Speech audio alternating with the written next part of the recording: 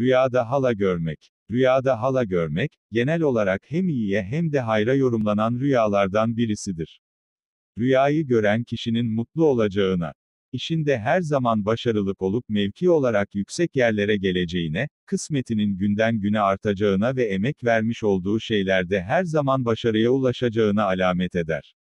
Bunun haricinde ismini her yerde duyuracağına, hem maddi hem de manevi olarak yüksek kazançlar elde edeceğine, ortaya koyacağı proje ile başarılardan başarıya koşacağına işaret eder.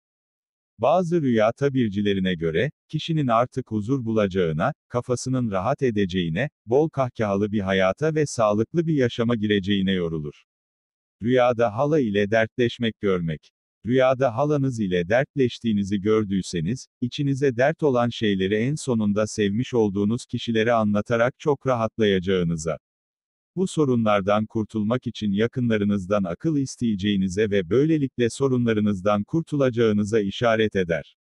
Rüyada halanın kızması. Rüyada halanın kızması, ortam modunuzu düşürecek bir olay yaşayacağınıza, canınızın çok sıkan olacağına ve her zaman mutsuz olup karamsarlığa kapılacağınıza alamet eder. Rüyada hala ile kavga etmek. Rüyada hala ile kavga ettiğinizi gördüyseniz, hayatınızla ilgili çok önemli bir değişim yapacağınıza ve bu değişim ile büyük kavgaların yaşanacağına, sıkıntılı bir döneme gireceğinize yorulur.